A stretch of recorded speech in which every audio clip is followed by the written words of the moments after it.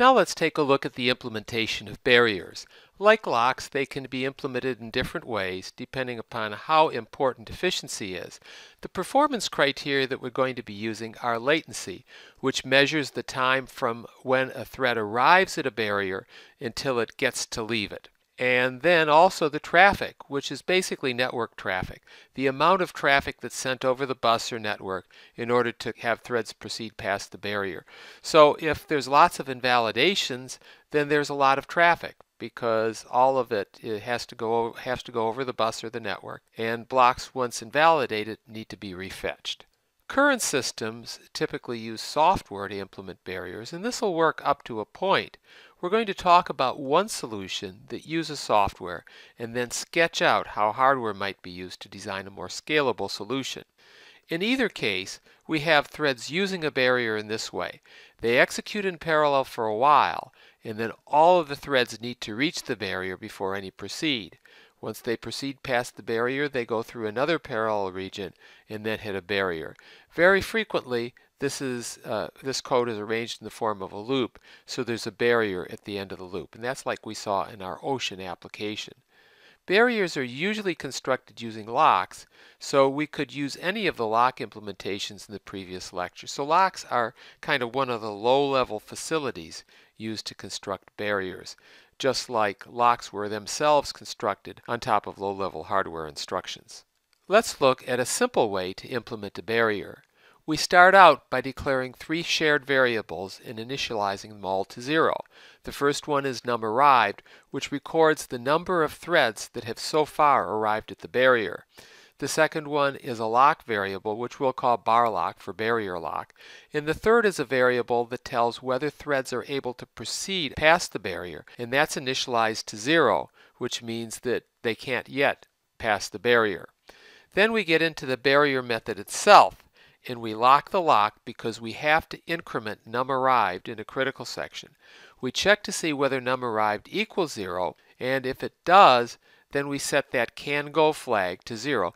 The reason we have to reset it because we you know we just initialized it, but we have to reset it because can go is going to become one at the end of the barrier, and so when we reach the barrier again, we need to set it back to zero so the threads can't leave immediately upon arrival at the barrier. They have to wait for can go to change back to one. And then we increment num arrived.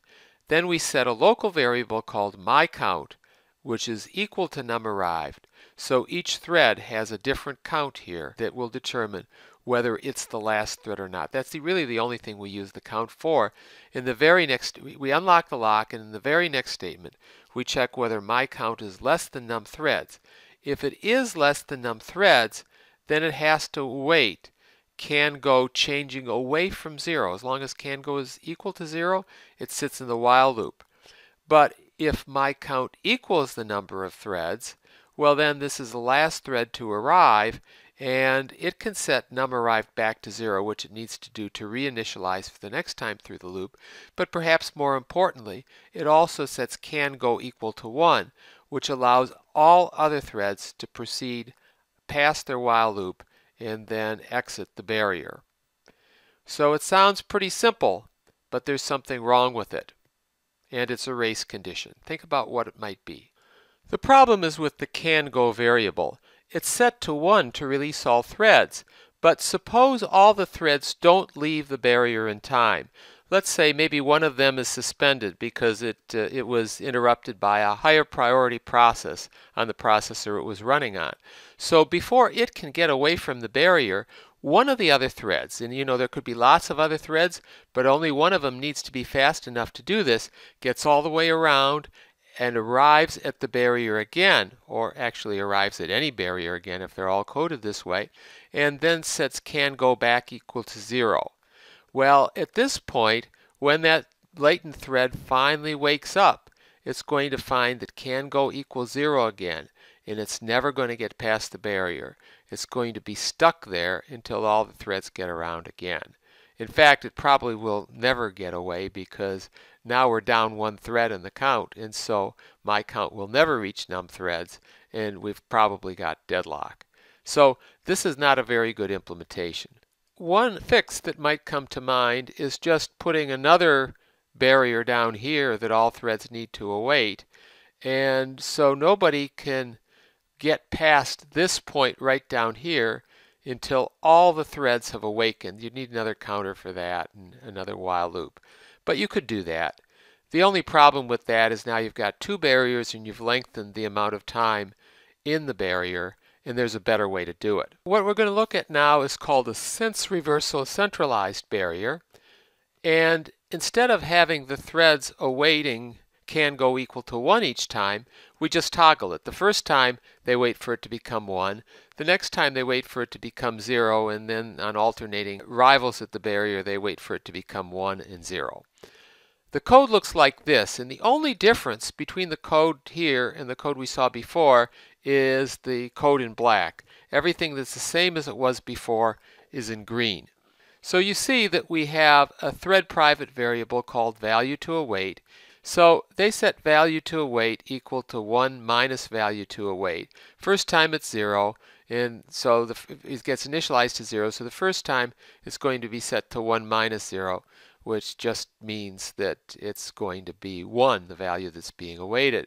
And then here, instead of the test being can go equal equal 0, it's can go not equal to value to await. So until the uh, can go variable gets changed to 1, this thread is stuck, just like it was before in the other, in the other implementation.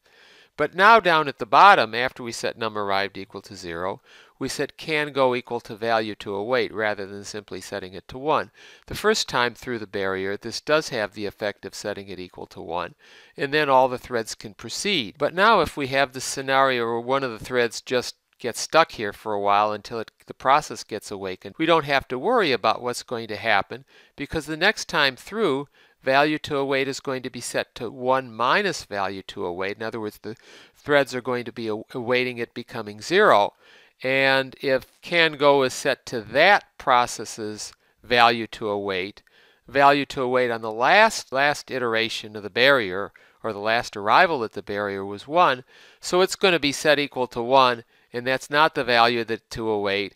And so if this thread manages to come down and get to value to await, oh it's still going to be waiting until the last thread arrives at this location and sets can go equal to value to await, oh which is now 1. Now I've got a couple of questions for you on how the traffic scales at this barrier.